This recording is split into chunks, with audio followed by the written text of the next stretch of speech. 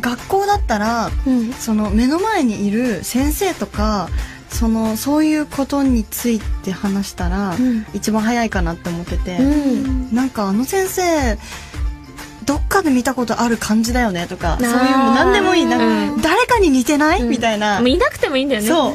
それも誰かに似てない？みたいになって、うん。こうあれっぽいよねあれっぽいよねみたいな話を膨らましていくのもありだし、うんあとはなんかうん本当にもう初期の段階、うん。その相手の趣味とかいろいろ聞くのもうん。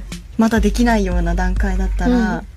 課題とかがあれば、うん。その入る前にやってこいみたいなのがあったら「うん。やってきました?」とか、もうちっちゃい声あでその隣の人に喋りかけるみたいなの始めたら、ここだけでっていうのから広がるのかなとあかー。そうだね。課題とかあったらちょっとね話題共有しやすいね。そうだとすごい私は大学の入学式の時に思ってて、あそうなんだ。うん。